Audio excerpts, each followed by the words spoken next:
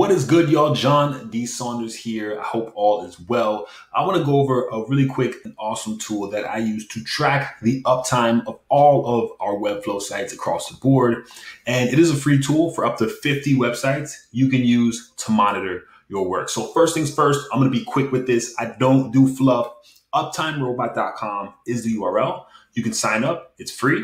Then, what you're going to do is go straight to your dashboard. Now, what you can do is you can add sites in here to be able to monitor their uptime.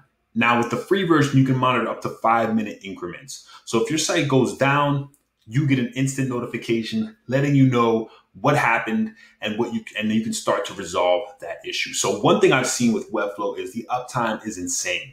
The servers are on AWS, so you're not going to get much downtime. If you do, it might be for a few seconds, but ultimately you can see a lot of these sites are 100% uptime if you're seeing ones with like 99 or 98, some of those are actually WordPress sites, which is a story for another day.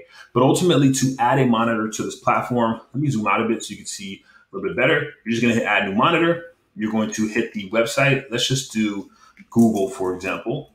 And then we're going to do HTTPS, google.com. And then you can kind of change this interval. Now, keep in mind, the free version lets you do five minutes, and that's more than enough. We have about maybe 30 sites that we're monitoring, and that's more than enough time for us. So I'm going to put it on five minutes. I'm going to select this to add that alert, and then I'm going to create that monitor. So for onboarding for clients, what we do is we set up Uptime Robot. We set it up to uh, the client email and our email as well. And that way we're instantly notified if a website goes down for any reason. This is a great way to track your efforts. And as you can see here, I'll click one of our websites. It'll show you the details. Uh, essentially, uptime last 24 hours has been 100%.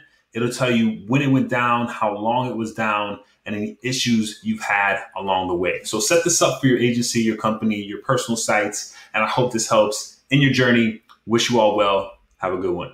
Peace.